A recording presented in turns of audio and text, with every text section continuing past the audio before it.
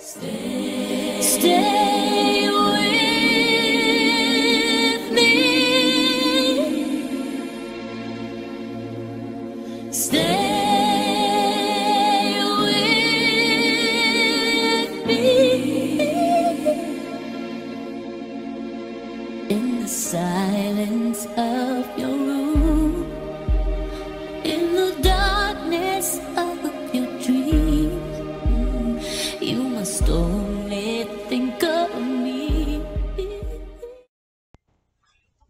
welcome to our last of the evening prayers of this week from me on Saturday, the 7th of September. And uh, yeah, so we're going to just pause for a second to remember some of the things that we said about God and his relationship with us that God is here, that he loves us, that although we mess up, God is forgiving, Jesus is active in our lives, and the Holy Spirit brings about good things, witnesses to us of the way we should be. And then finally, just to say that in this, and will be echoed in some of the things we're saying today, is we are safe in Jesus. We are, we might say, saved. That is it. True, but safe. We're secure in Him when we know Him. Let's pray. Thank you, Lord, for the confidence that we can have because we belong to you. One of the things that the Methodist Church grew from was assurance. That isn't arrogance, Lord. That isn't, oh, I, I'm okay, I don't care about anybody else. This is uh, a real reliance upon your grace, that everything is out of your love and we can be sure we belong to you. So thank you for that security, that safety, that haven, that refuge. Thank you that it's not just for us, that other people can be called into it too. But we thank you that we are in a privileged position, that when we are born again, as it says in the story of Nicodemus, when we're born from above, uh, we can know that safety and that security. Thank you, Lord. And as we think about some of the things tonight about your words and your ways, Lord, come, Holy Spirit, and cement these things into our will and our purpose and our personality, that we might know your greatness and know your love. In Jesus' name, Amen. So um, we're going to watch the other sort of half or last bit of the, the opening video we had on Monday, which was about the story of the Garden of Eden and what God's remedy is to that. Because of Adam's one sin, sin and all its messes came into the world for everyone. Life would be hard from then on. The ground would be hard, work would be hard, marriage would be hard, having babies would be hard, and death would be really hard. What a rotten day! The second worst day in the history of the world. And yet, before you close this book and crawl under your covers and cry, you need to know that just as all the bad things began to happen, God's promise was beginning too. He promised that one day there would be a snake crusher to flatten that slimy serpent and save his sinful people. A war was about to begin, but God had already guaranteed that because of a great one to come, the good guys would win.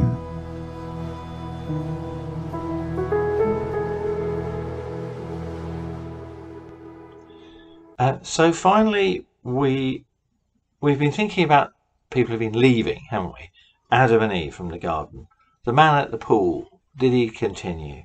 The rich ruler who walked away. The crowd who could take it no more because the teaching was hard. And Judas who couldn't take the way of Jesus.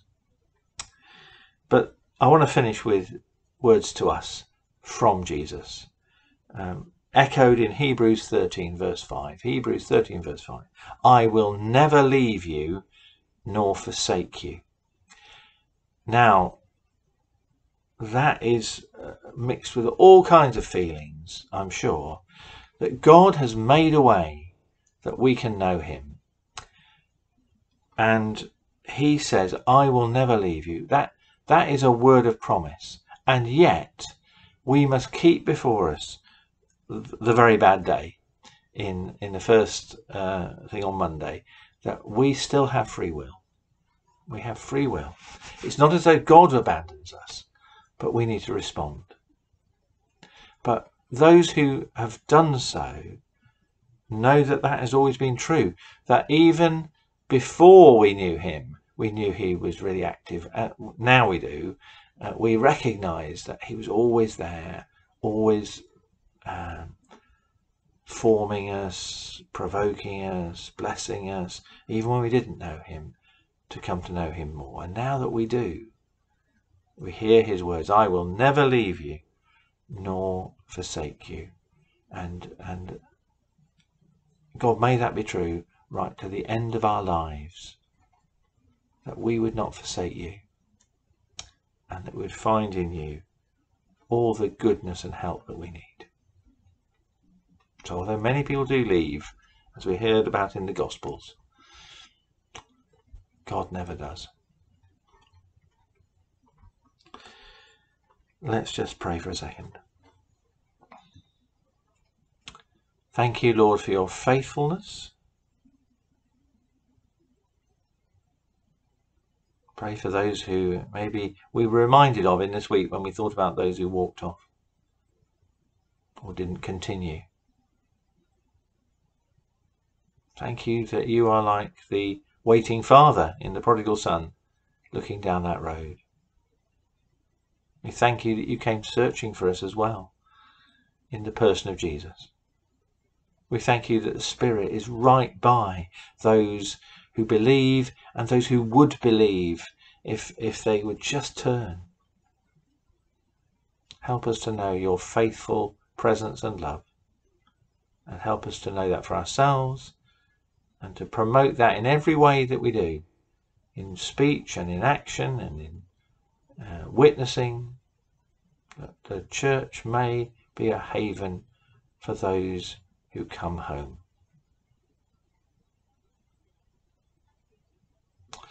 And we ask these prayers now in the name of Jesus, our faithful Redeemer and Saviour.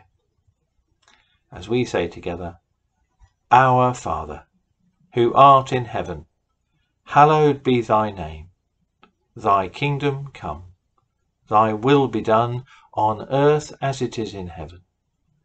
Give us this day our daily bread, and forgive us our trespasses, as we forgive those that trespass against us. And lead us not into temptation, but deliver us from evil. For thine is the kingdom, the power and the glory, for ever and ever. Amen.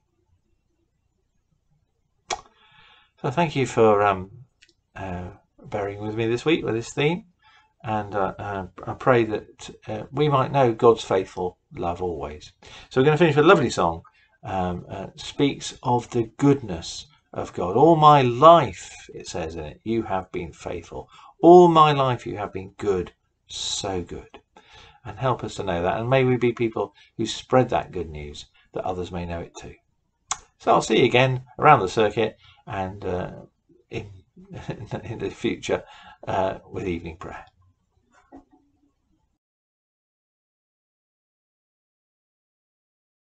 I love you, Lord.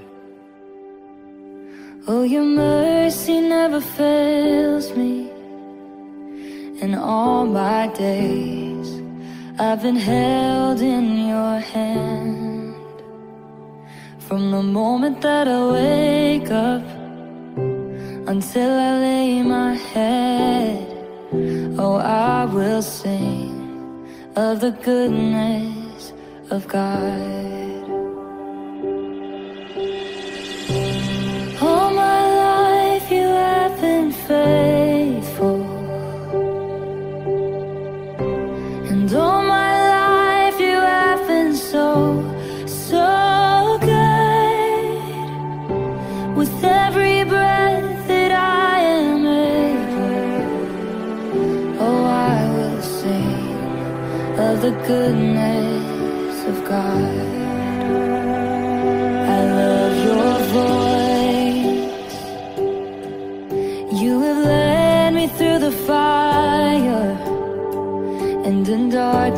night. You were close like no other. I've known you as a father. I've known you as a friend. And I have lived in the goodness of God.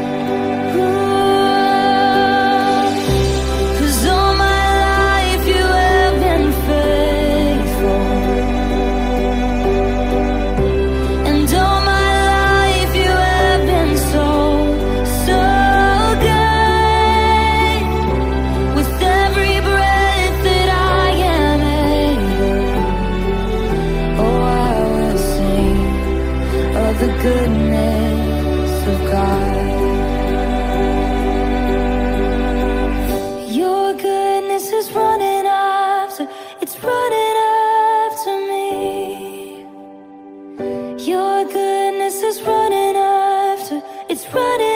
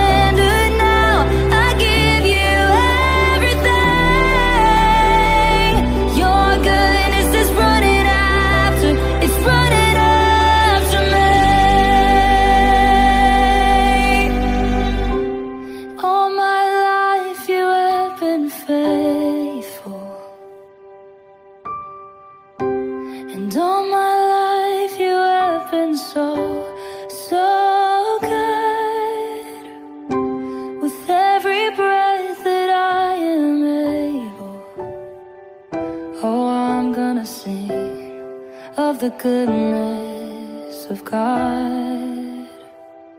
Oh, I will sing of the goodness of God.